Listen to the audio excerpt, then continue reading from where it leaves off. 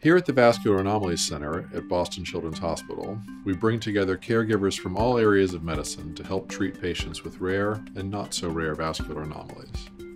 We're in it with you for the long haul because we really want to help you and we really want to understand this together. The big part of what we do is educating families and patients about their disease. Prior to the referral to our vascular anomaly center, the diagnosis is incorrect in about 50% of the patients. For these diseases that have fallen through the cracks of disciplines, what often happen is you see a number of different specialists who've never spoken to each other. So you leave with a number of different plans and sometimes more than one name for what you have, and that brings a great challenge for families. The advantage of having a centralized group means that because of this interdisciplinary nature, because we're all speaking, you're almost assured to have one diagnosis and one unified story of management. By seeing the patients together and discussing the patients together with all the docs physically in the room at the same time, we have immediate back and forth interchange, and we also discover new problems and new opportunities to solve those problems.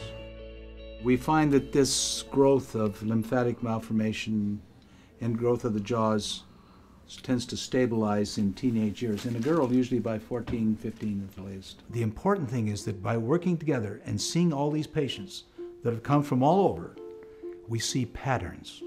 The patient is an eight-year-old female from California with the referring diagnosis of pelvic venous malformation. Every Wednesday night, we have a vascular anomalies conference. We discuss cases. They could either be complicated cases that are coming into clinic, or other times we discuss patients that aren't coming in who would like advice without actually being seen in person. I think we've seen something like this before. Um, I know there have been reported cases of iliac vein to mesenteric vein fistulas. We do this as a service to patients to prevent them from having to always travel to Boston when sometimes we can give good information remotely. Ready? Mm-hmm. I'm constantly reminded how much experience there is in our center.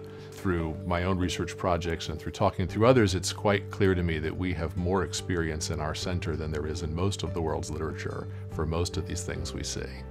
The team that we've built and the expertise that we have is often providing something to a patient or a family, something that otherwise was not available to them. In some cases, we've developed some unique procedures that aren't done anyplace else. This is again the source of the pain, or the pain could be referring to these spots from that. What we can offer your child and your family as a whole is assessment by a team of specialists, all of whom focus on what your child has.